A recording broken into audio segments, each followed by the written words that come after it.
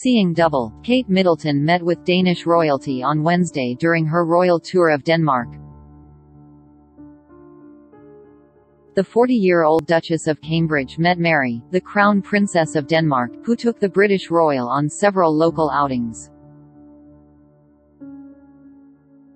Princess Mary, 50, is the wife of Frederik, the Crown Prince of Denmark, who is next in line to the Danish throne. Kate's husband, Prince William, is second in line to the British throne. The two women dressed similarly for their day out. Princess Mary sported black heels, tights, and a white peacoat, while Kate wore black heels, and a grey and black peacoat.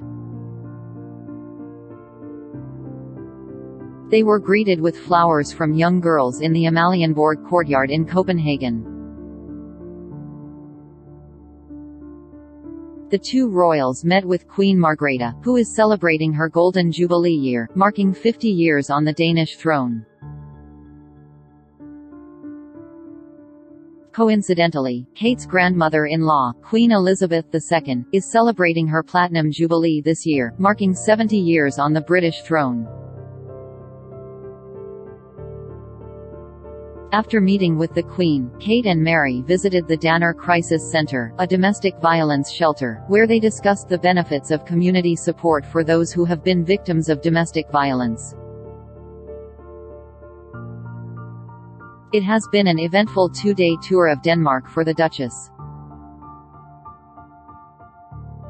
She's spoken about early childhood development and mental health, met with parents and babies, and even chopped some wood at an outdoor kindergarten.